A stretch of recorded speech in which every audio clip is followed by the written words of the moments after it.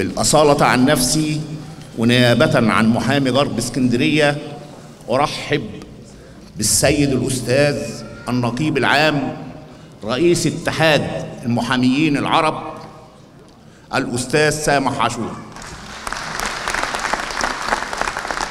كما أرحب بالسادة الضيوف الكرام أعضاء النقابة العامة وأعضاء النقابات الفرعية.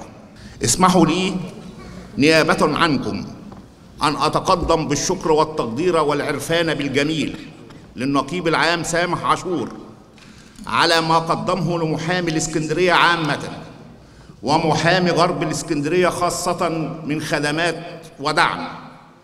بداية من خدمات العلاج وتسخير إمكانيات مقر النقابة العامة في الإسكندرية لخدمة المحاميين.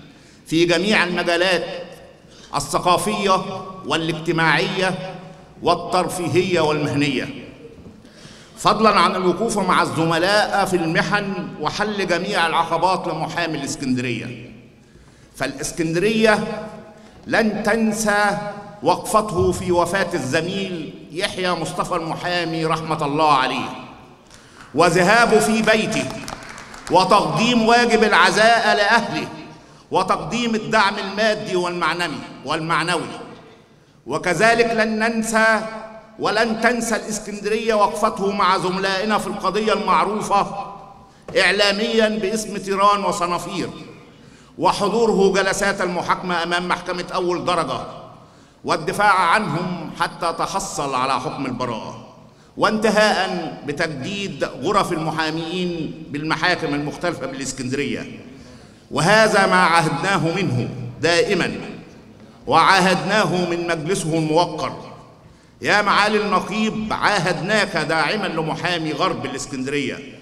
ونؤكد لكم إن محامي الإسكندرية بكل الحب والوفاء والإخلاص.